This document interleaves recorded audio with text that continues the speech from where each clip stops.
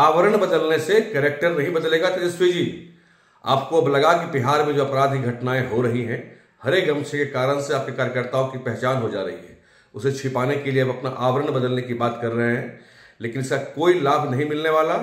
राजद का मतलब गुंडागर्दी है बिहार की जनता जानती है। और दूसरी बात, आपको लगता है कि आपके एम वाई समीकरण से एम वोट दरक रहा है, खिसक रहा है। अब शायद एम वोट की ज़रूरत आपको नहीं। इसलिए आप हरे रंग से परहेज करना चाह रहे हैं, हरा गमछा को हटाना चाह रहे हैं। आप नए समीकरण भी तलाश में हैं, लेकिन कोई लाभ नहीं, जनता आपका हर रूप, हर रंग देख चुकी है, आपके डीएनए को जानती है, आपके आपराधिक घटनाओं के कुकृत्यों को जनता जानती है कि कोई भी रूप बदली, जनता भरोसा आप करने वाली नहीं है।